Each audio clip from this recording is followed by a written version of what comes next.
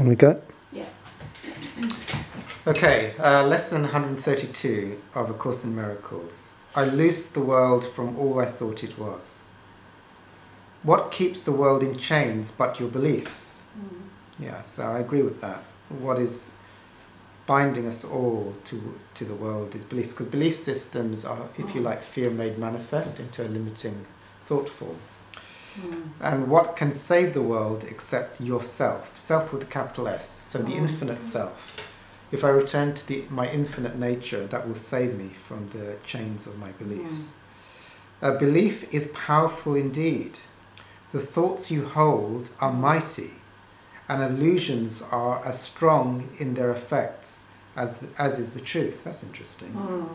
A madman thinks the world he sees is real and does not doubt it, nor can he be swayed by questioning his thoughts, effects. It is but when their source is raised to question that the hope of freedom comes to him at last.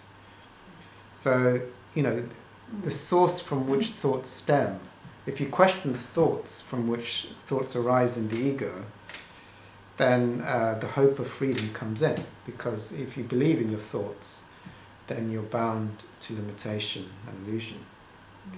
So, yet is salvation easily achieved, for anyone is free to change his mind, and all his thoughts change with it. Mm. Now the source of thought has shifted, for to change your mind means you have changed the source of all ideas you think, or ever thought, or yet will think. You free the past from what you thought before.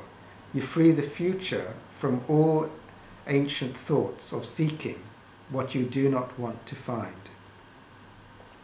That's very powerful. I mean, if you mm. let go of the source of thinking, Mm. then thoughts arise out of the infinite. Mm. But if you mm. identify with your thoughts as being real, then thoughts stem from the field of limitation and uh, all the programs that are programmed within the uh, limited self.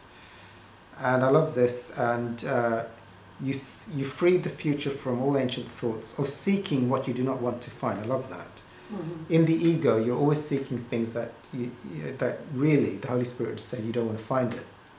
So, like in uh, the seeking, the seeking is the aspect of the separated consciousness because it's always seeking something. It's never at peace. You know, it's seeking money, it's seeking love, it's seeking security, and it's seeking and it has its plans based in the future. So if it's uh, if it's more thinner, or if it's got more money, or if it's got more validation, uh, then it will be. But the course says you don't want to find what it's seeking because what you seek will not fulfill the the problem that it's trying to fulfill.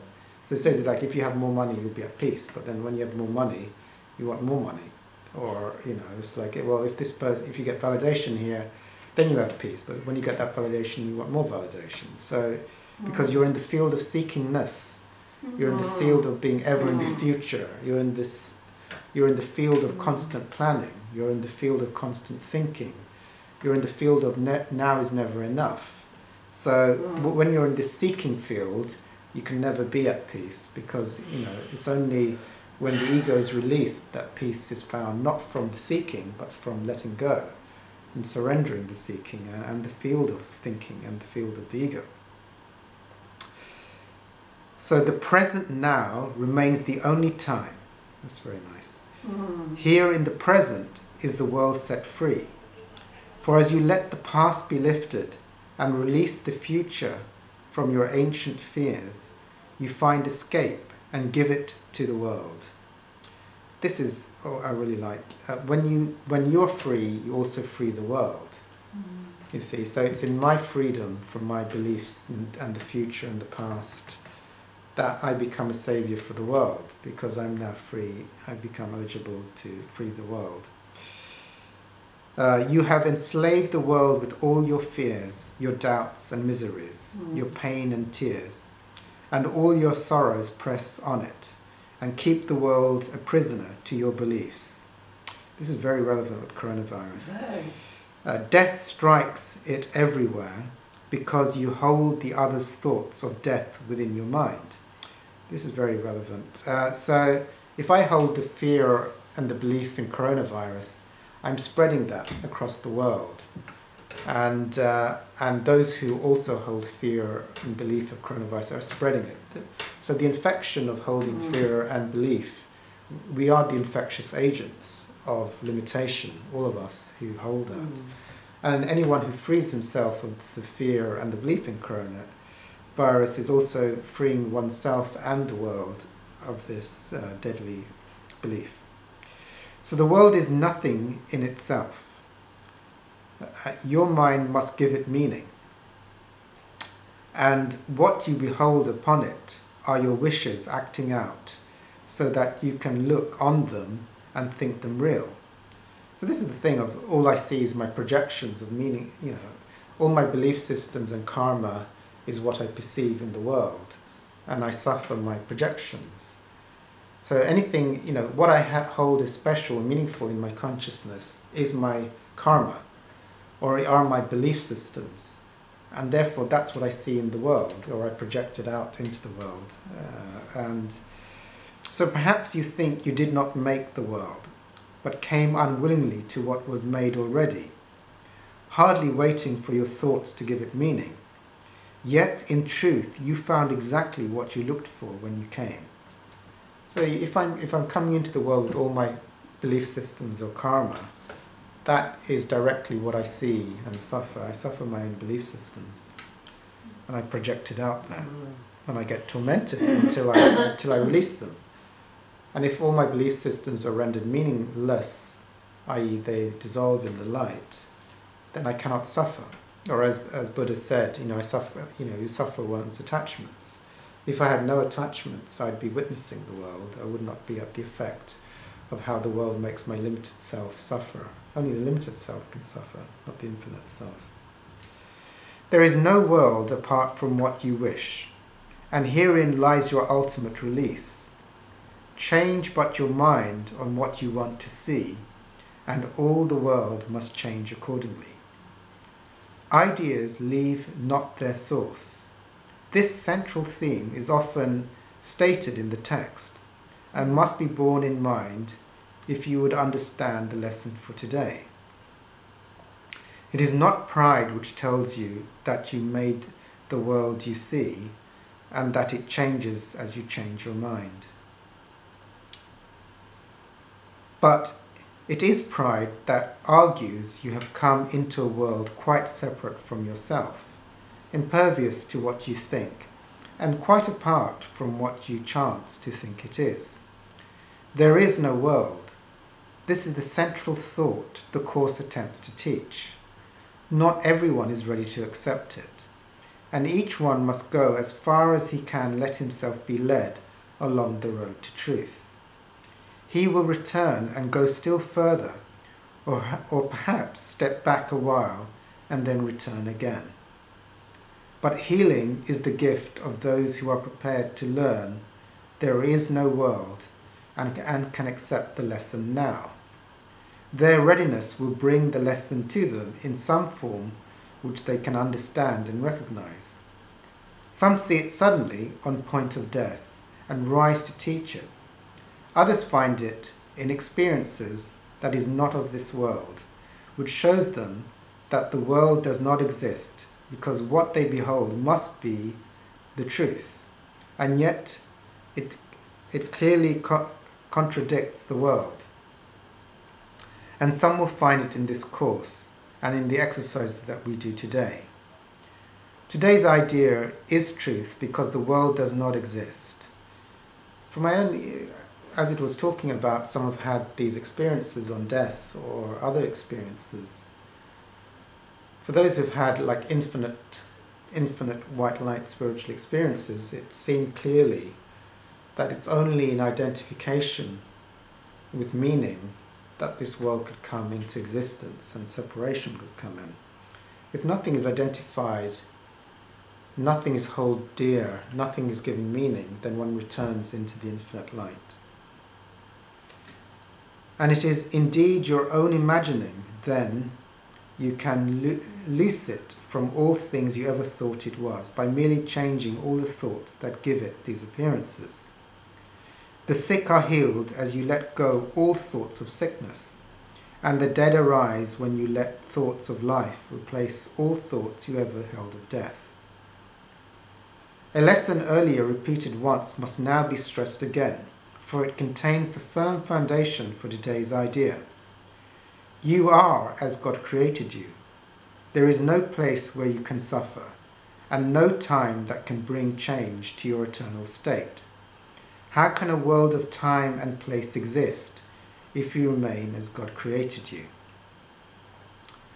So I often teach the observer practice where you go to the witnesser of time and location and you realize that the true self is infinite and is not limited to place, time, identification, or body or thought. So, what is the lesson for today except another way of saying that to know yourself with a capital S is the salvation of the world. Mm. To free the world from every kind of pain is but to change your mind about yourself. There is no world apart from your ideas, because ideas leave not their source, and you maintain the world within your mind in thought. Yet if you are as God created you, you cannot think apart from Him nor make what does not share his timelessness and love. Are these inherent in the world you see? Does it create like him? Unless it does, it is not real and cannot be at all. If you are real, the world you see is false, for God's creation is unlike the world in every way. And as it was his thought by which you were created, so it is your thoughts which made it and must set it free, that you may know the thoughts you share with God. Release the world. Your real creations wait for this release to give you fatherhood, not of illusions, but as God in truth. God sh- shares his fatherhood with you, who are his son, for he makes no distinctions in what is himself and what is still himself. What he creates is not apart from him, and nowhere does the Father end and the Son begin as something separate from him. There is no world because it is a thought apart from God, and made to separate the Father and the Son, and break away a part of God himself, and thus destroy his wholeness. So if I just comment on that, you know, if there's any thought held in from the separated self, then the separated self is separated from God and from others. And when this separated self is dissolved, then experiences of oneness or the infinite light uh, uh, are experienced, and it is, it is realized through spiritual experience that there is no separation, there is no other, and there is no separation from God. Can a world which comes from this idea be real? Can it be anywhere? Deny illusions, but accept the truth. Deny you are a shadow briefly laid upon a dying world. Release your mind, and you will look upon a world released. Today, our purpose is to free the world from all the idle thoughts we ever held about it, and about all living things we see upon it. They cannot be there. No more can we, for we are in the home of our Father, set for us along with them. And we who are as He created us would loose the world this day from every one of our illusions, that we may be free. Begin the 15 minute periods in which we practice twice today with this. I remain, I who remain as God created me, would loose the world from all I thought it was. For I am real because the world is not and I would know my own reality. This merely, this merely, uh, this merely rest. Uh, sorry, then merely rest, alert but with no strain, and let your mind in quietness be changed, so that the world is freed along with you. You need not realize that healing comes to many brothers far across the world, as well as to the one you see nearby as you send out these thoughts to bless the world. but you will sense your own release, although you may not fully understand as yet that you would never be released alone. Hence, anyone, uh, uh, as Hawkins or TM meditation shows, anyone who, release, who realizes the spiritual truth in themselves is a great blessing to clearing the suffering of the world. Throughout the day, increase the freedom sent through your ideas to all the world and say whenever you are tempted to deny the power of your simple change of mind, I loose the world from all I thought it was and choose my own reality instead.